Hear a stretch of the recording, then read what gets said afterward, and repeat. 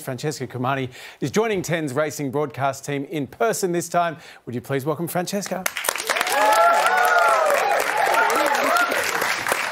So, so you're sick of dialing it in. You've decided to turn up in person. Well, so hang on. It's not I've decided to turn up. I couldn't come the last couple of years. It was very strange doing it from England in the middle of the night. I think the first year, 2020, uh, I was at home on my laptop with very dodgy Wi-Fi. I actually cut out halfway through the race. So they came back to me for comment afterwards, and I'm like, uh, yeah, no, I think he led all the way and won. It was great. it, was, it was buffering a little bit in the middle yeah, of the horse race. Exactly. But great, obviously, to be back in amongst great it in to person. be back. Great for me to be back. Great to have everybody back at the races. Honestly, I've been to quite a lot of race meetings with no crowds.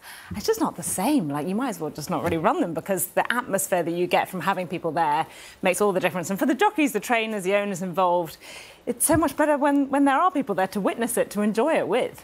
You've been all over the world, seen racing everywhere. What is particularly special about the Cup Festival? I can tell you, Lisa, there's nowhere that does a racing event like Flemington, like the Melbourne Cup. I started coming here in 2006, and from the very first moment I got here, I was like, oh my God, I can't believe this place. Because it like takes over the whole city, which you don't get anywhere else. People kind of stop you in the street and they're like, how's your horse? And I'm like, uh, what, me? What? Like, yeah, yeah, it's really weird. Um, and then I've just been coming back uh, every year. And it's actually the same for all the connections of horses, the people who come, trainers, owners, jockeys, etc. Once they've been, you can't keep them away. They love it so much because we get the feeling that people, wider audiences, are sharing our passion, and that's great. Yeah. Let's be honest, though. I feel like the crowds at Cup Day in Australia are potentially a bit more ragged than elsewhere.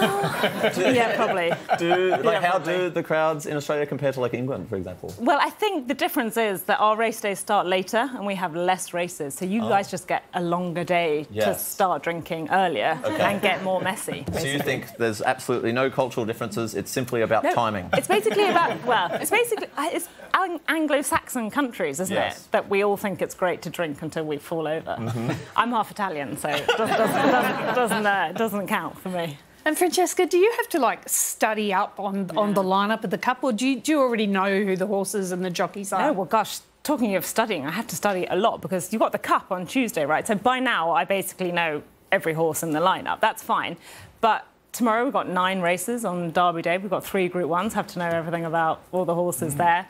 Um, we've got what ten races on Cup Day. We've got Oaks Day. We've got the Saturday as well. So there's a lot of research involved. It might kind of look like it comes off the top of all our heads, but there's a lot of study involved. There's a lot of horses involved, there's a lot of racing involved, but a lot of people turn up for the fashion. And I feel like I have to ask this every year. Is it hats or fascinators this year? What's in? What's cool? You're asking the wrong person because fashion is not my thing. But uh, I'm all about the hats because the fascinators, like, I, it doesn't count when you just got a little bit of like fluff and kind yeah. of netting. That's not a proper hat. I think you need to have something a bit, bit firmer. But yeah, it, it, I'm a big one for practicality as well because yeah. you don't want it blowing off. You don't want it kind of getting in your eyes. Uh, sometimes they're quite good to stop people kissing you if you don't really want to. That's to true. Be Good for social people. distancing. Yeah. yeah. Racing is not for you if you like practical headwear. Some of the most ridiculous things I've ever seen on someone's head. I also like practical shoes as well, so I'm a bit of an anathema in that sense because I spend too many hours on a race course to not be comfortable. And given, actually, I'm about to say we have to ban weather chat this week, so I'm so bored okay. of it. But given the weather, uh, there's going to be a lot of coats as well, I think, this year because I don't like being cold. I don't know what you're complaining about, Tom. You look great in a fascinator. I don't know what they are. uh, a friend of mine nicknamed them the Terminator because he's so annoyed with it at the end of the day. I just went in the bin. You can catch the four days of Melbourne Cup Carnival action live and free on 10 and 10 Play. Francesca, thank you so much. Great to see you. Thanks, guys.